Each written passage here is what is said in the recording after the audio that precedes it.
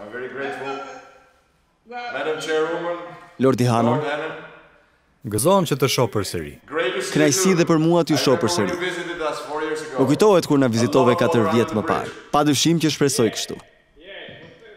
Faleminderit shumë për ato që thatë. Dhe kujtoj me kënaqësi vizitën time të fundit në Londër, pak para pandemisë, kur ju takova ju dhe përfaqësues të FD dhe me lidershipin e partisë. Jam me të vërtetë shumë i lumtur që partia jonë simotër doli shkëlqyer në zgjedhjet e fundit. Më lejoni të filloj duke shprehur ngushëllimet e mia për vdekjen e hirësisë së tij, Princ Philip. dhe të bashkohem me pikëllimin e familjes mbretërore dhe popullit britanik. Duka ka qenë figurë e njohur edhe për Shqipërinë postkomuniste, edhe për shkak të lidhjeve të tij me vendin tonë fqinj dhe sigurisht një partner i shkëlqyer i mbretëreshës. Ajo ka humbur shoqëruesin e saj të jetës dhe ju lutemi, ofrojini qeverisë suaj dhe shtëpisë mbretërore, në veçanti mbretëreshës, ngushëllimet e mia më të thella. Jam shumë e kënaqur që dëgjoj se bashkëpunimi ynë midis partive tona ka mundësuar marrëdhënie më të mira mes nesh dhe ka patur një impakt pozitiv për vendin tuaj. Unë e mirëpres gjithmonë shkëmbimin e eksperiencave midis nesh, pasi kemi mundësi të mësojmë nga njëri-tjetri. Faleminderit shumë për atë që thatë. Fushata po shkon shumë mirë. Ne kemi marrë që nga fillimi vendimin për të filluar një fushatë pozitive, që përqendrohet në problemet e vendit dhe në zgjidhjet e këtyre problemeve. Pas tetë viteve të qeverisë socialiste, që ka premtuar shumë por nuk ka bërë asgjë dhe e ka lënë vendin në vendnumëro në çdo fushë, sot të gjithë kërkojnë ndryshim dhe kjo është bërë motoja jonë, nevoja për ndryshim, bashkimi për ndryshim, përmes së cilës ne do të jemi në gjendje të garantojmë rritje ekonomike, prosperitet dhe të ecim të sigurt drejt anëtarësimit në BE. Pra nga ky këndvështrim, ajo që ne po bëjmë është të përpiqemi të rikthejmë shpresën dhe besimin e shqiptarëve te potenciali i jashtëzakonshëm i vendit tonë, të cilin Lordi Hanon e ka vizituar, por që ne shpresojmë që së shpejti të jemi në gjendje t'ju mirëpresim sërish. Së shpejti. Nuk është koha për të humbur besimin në vendin tonë. Ju e dini cilat janë pasojat e kësaj. Ju po përballeni në Britaninë e Madhe me numrin më të madh të shqiptarëve që emigrojnë në Mbretërinë e Bashkuar në tetë vitet e fundit. Dhe e njëjta gjë po ndodh me shqiptarët që emigrojnë në Bashkimin Evropian dhe në SHBA. Kemi humbur gjatë tetë viteve të fundit rreth gjysmë milioni bashkëqytetarë në një vend me tre milionë. Kjo është absolutisht katastrofë. Dhe disa nga këngëtarët më të njohur britanikë të popit, si Rita Ora dhe Dua Lipa, janë shqiptare.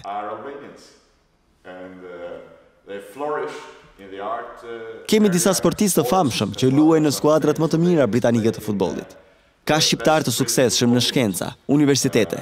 Ata nuk janë në gjendje ta bëjnë këtë në vendin e tyre, sepse nuk u jepet mundësia.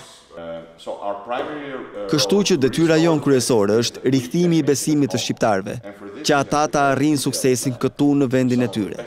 Dhe për këtë, ne kemi përgatitur një plan të detajuar me ekspertët më të mirë të vendit, dhe me shumë ndihmë nga ekspertët perëndimorë, duke përfshirë ekspertët tuaj nga Fondacioni Westminster për Demokracinë.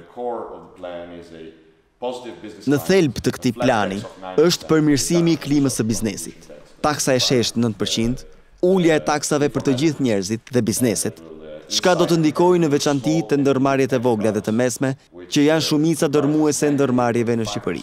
Ato janë palca e ekonomisë shqiptare për të ndihmuar gjithashtu krijimin e një klime që do të sjellë investime në Shqipëri dhe ne jemi shumë të interesuar të krijojmë një klimë pozitive, të sjellim investime në Shqipëri dhe natyrisht të përqendrohemi në një arsimim më të mirë për të rinjtë.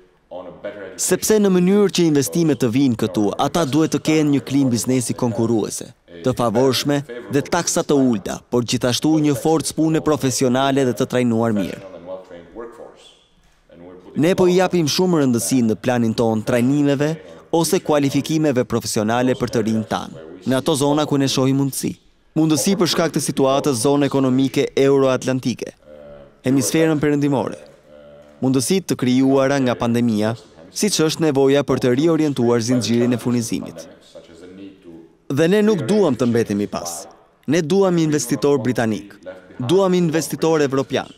Duam që investitorët amerikanë të kthejnë sytë nga Shqipëria për të parë se ajo përfaqëson mundësi po aq të mira, në fakt edhe më të mira se vendet fqinje, ku situata është krejt e ndryshme.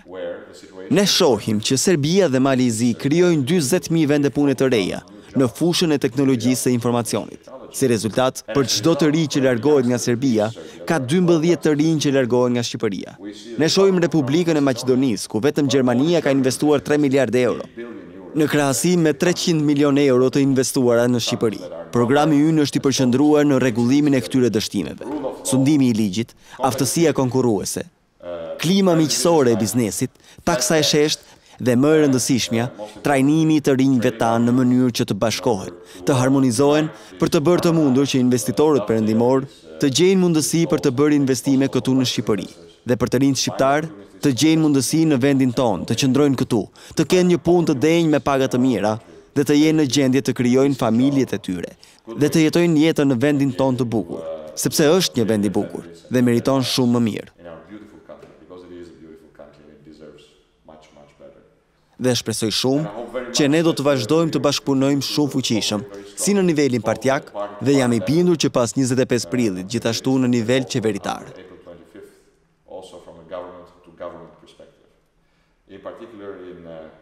Në veçanti në fushën ekonomike, ne jemi shumë të interesuar të ringjallim interesat e investitorëve britanikë.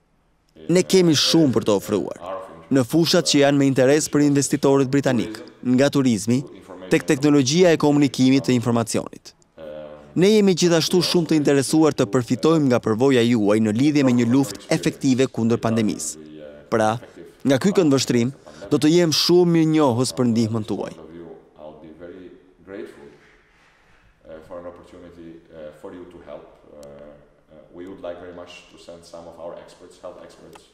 Ne do të dëshironim shumë që të dërgojmë ekspertët tanë në Londër, në çdo kohë që të mundeni, në mënyrë që të diskutojmë me njerëzit tuaj për të përgatitur hapat e parë në trajnimin efektiv të problemeve të pandemisë, veçanërisht problemi i vaksinimit.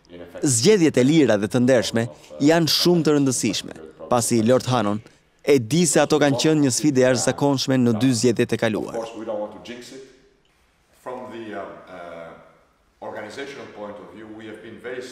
Në këto fushata kemi një sfidë të madhe në fakt.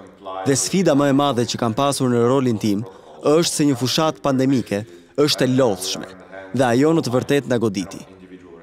Nga pikëpamja organizative ne kemi qenë shumë të rreptë në organizimin e eventeve, që përputhen me masat anti-covid dhe protokollet anti-covid të një vendi ku gjithçka është në dorë të Zotit dhe të përgjegjësisë individuale, sepse për sa i përket qeverisë, asgjë nuk është bërë.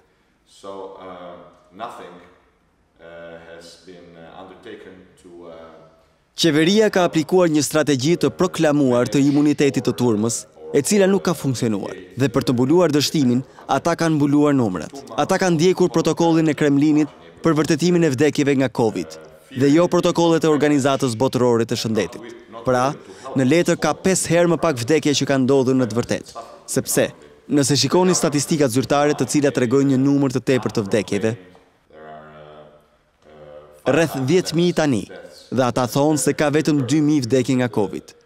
Pra cilat janë rreth tetë mijë shkaqe të pasqaruara dhe të pallogaritura për vdekjet e tyre, të lidhura qartë me covid? E njëjta gjë kur bëhet fjalë për numrin e infeksioneve. Pra nga ky këndvështrim, është përgjegjësia jonë, para së gjithash, t'u themi njerëzve të Shqipërisë që të kujdesen për veten e tyre dhe të përpiqen gjithashtu të organizojnë një fushatë sa më të përgjegjshme në këtë drejtim. Ne jemi përpjekur ta menaxhojmë atë. Ne jemi përpjekur ta ndalojmë atë. Shqipëria do të fitojë, por shëndeti vjen së pari dhe sigurohuni që secili të bëjë punën e tij derë më derë, duke mbrojtur njëri-tjetrin dhe duke mbrojtur të gjithë. Unë u uroj atyre më të mirën dhe vetëm të vazhdojnë kështu. Përpiqem të mos i injoroj ata, sepse nuk mendoj se kjo është një gjë e mençur për mbështetësit që po vijnë atje dhe po japin shpirtin e tyre në fushatë. por në të njëjtën kohë duke kufizuar rrezikun e turmës sa të jetë e mundur.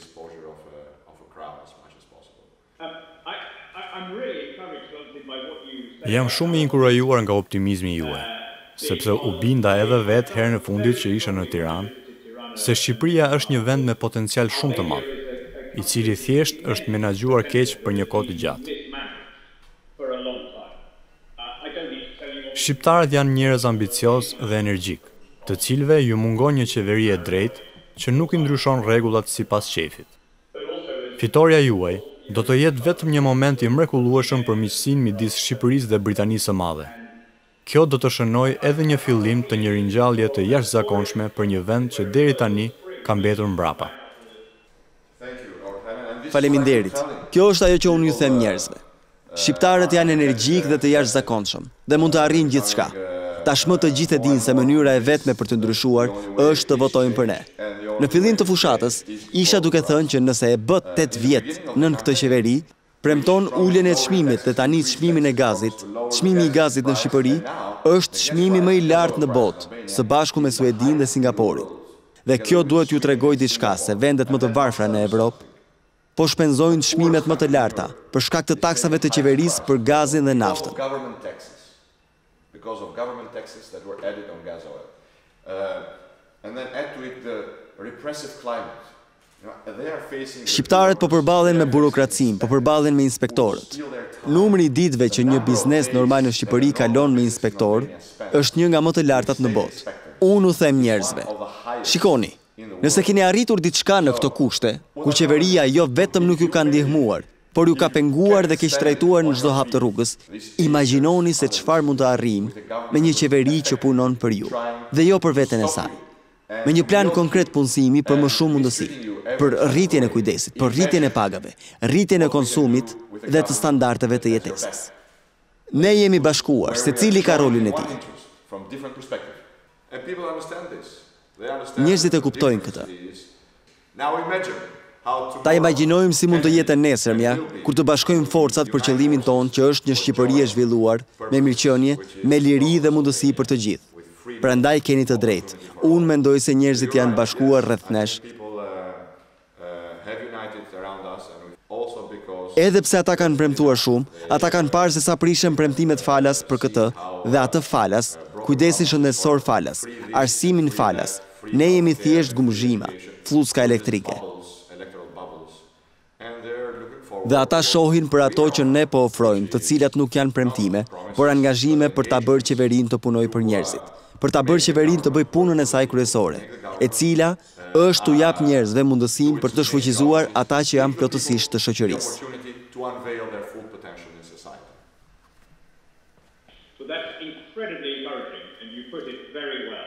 Ti e the vërtet shumë bukur. Më lejoni që ta shfrytëzoj këtë moment për t'ju uruar gjithë suksesin e mundshëm dhe do të thosha se mezi pres të të shoh përsëri në Shqipëri, por edhe më shumë se kaq. Pres me padurim t'ju mirëpres në Londër si kryeministër i një Shqipërie të lirë, me ekonomi të lirë dhe me një orientim perëndimor. Ndaj, për të gjithë ju, forca deri në njëzet e pesë prill dhe gjithë suksesin e mundshëm.